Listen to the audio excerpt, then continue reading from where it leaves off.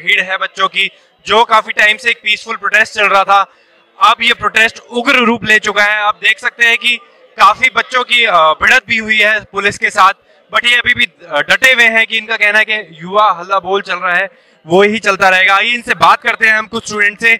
अभी कुछ टाइम से पीसफुल प्रोटेस्ट चल रहा था। ये मार्च किस लिए हम मार्च हम हमारे कोई सुनता नहीं। हमारी कोई सुनता नहीं हमारी कोई हम पीसफुली अठारह दिन से बैठे हुए थे कोई सुनने वाला नहीं आया इसलिए आज हमने डिसाइड किया कि हम ये देखिए सर हमारे ऊपर लटाश फरमाइश है पीसफुल प्रोटेस्ट कर रहे हैं। कोई सुनने वाला नहीं है।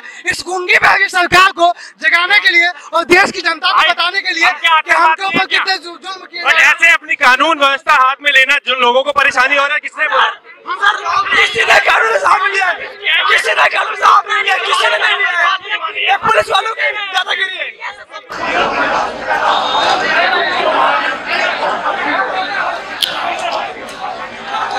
が。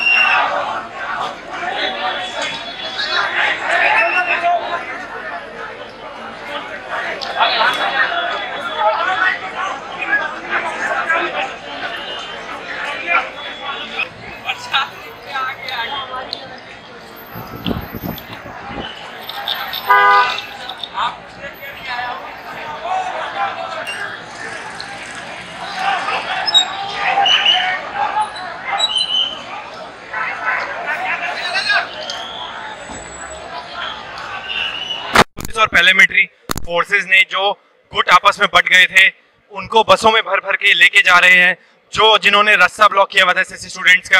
आप देख सकते हैं कि अ, काफ़ी लोगों को यहाँ से प्रॉब्लम हो रही है एसएससी प्रोटेस्टर्स की वजह से। बट एसएससी प्रोटेस्टर्स का मानना है कि हम 18 दिनों से चुपचाप अपना प्रोटेस्ट कर रहे थे बट उससे कोई असर नहीं हुआ था सरकार को। तो यही हमारा तरीका है कि हमारी बात सुनी जाए। With camera Saurabh Shastri news Delhi